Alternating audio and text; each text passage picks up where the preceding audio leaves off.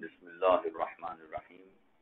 हम में से अक्सर अफराद ये जानते हैं कि नमाज़ पढ़ने के लिए तहारत ज़रूरी है, लिहाजा वज़ू करना पड़ता है।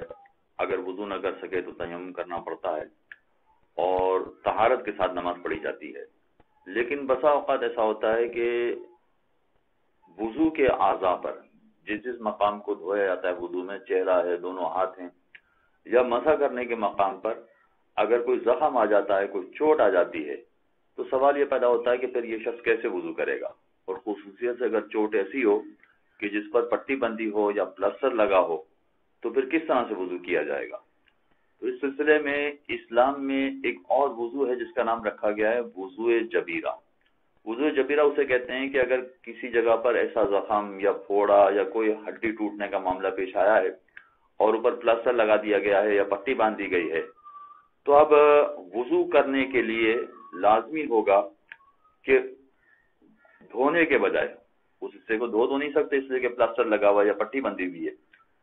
धोने के बजाय पट्टी पर या प्लास्टर पर गीला हाथ फेरा जाएगा।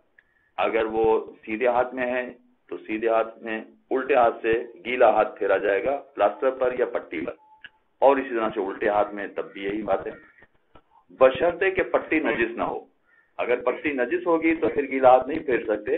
अगर फिर हम गिलास फेरने जाएँगे तो फिर तो हाथ भी हमारा नजिस हो जाएगा और जो पानी हमारे हाथ में लगेगा वो भी नजिस हो जाएगा। लिहाजा अगर प्लास्टर या पट्टी पाक है तो फकत प्लास्टर पर या पट्टी पर गीला हाथ फेर लेना काफ़ी होगा वज़ू करने के लिए। जैसा कि तरीक़ाकार होता है, वज़ू में ऊपर से नीचे धोया जाता है या हाथ भी ऊपर से नीचे की तरफ़ फेरा जाएगा। अगर चेहरे पर इस तरह से पट्टी बंधी हुई है तो चेहरे पर भी ऊपर से नीचे की तरफ़ पट्टी पर गीला हाथ फेरा जाएगा।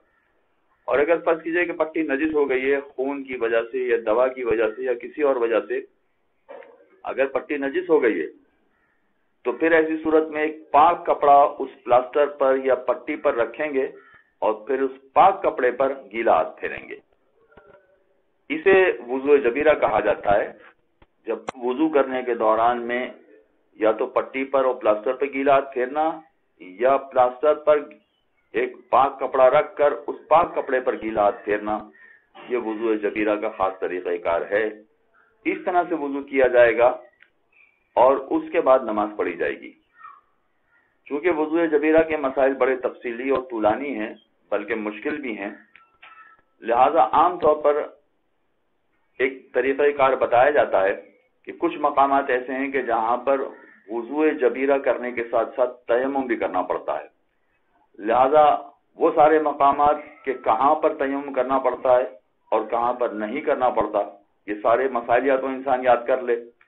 इसलिए कि बहुत सारे मकाम ऐसे हैं कि जहाँ पर वज़ू फकत काफ़ी हो जाता है तयम की ज़रूरत नहीं होती। कुछ मकाम ऐसे होते हैं कि यहाँ वज़ू के साथ तयम भी करना पड़ता है।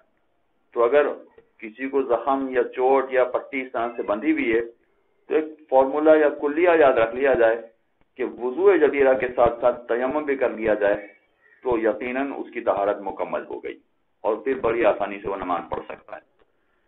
वरना हर हर मसले के लिए अलग तफसीलात हैं।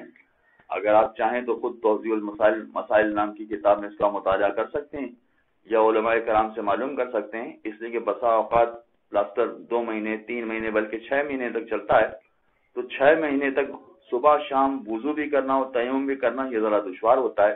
तो अगर अपना मसला मालूम कर दिया जाए कि उसकी ज़िम्मेदारी फकत वज़ू करने से पूरी हो जाती हो तो छह महीने तक उसे तयम नहीं करना पड़ेगा। और बसा अवकात ज़िम्मेदारी ये होती है कि फकत तयम करना पड़ता है, वज़ू करने की ज़रूरत नहीं पड़ती। तो फकत अगर तयम कर लिया जाए तो वज़ू नहीं करना पड़ेगा उसे। वरना आम कुलिया और आसान तरीका कार ये है कि वज़ू और तयम दोनों कर लिए जाएँ तो फिर उसकी ज़िम्मेदारी पूरी हो जाएगी और उस तहारत के साथ वो नमाज़ पढ़ेगा। अगर जख्म लगा है, हड्डी टूट गई है, पैर टूट गया है, हाथ टूट गया है तो उसका हरगिज ये मतलब नहीं है कि नमाज़ माफ़ हो जाएगी। नमाज़ तो फिर भी पढ़ना पड़ेगी, बल्कि नमाज़ में फिर जो वज़ू जबीरे का तरीका बताया गया है, उस तरह से तहारत करके नमाज़ पढ़ना पड़ेगी। तो अलैहि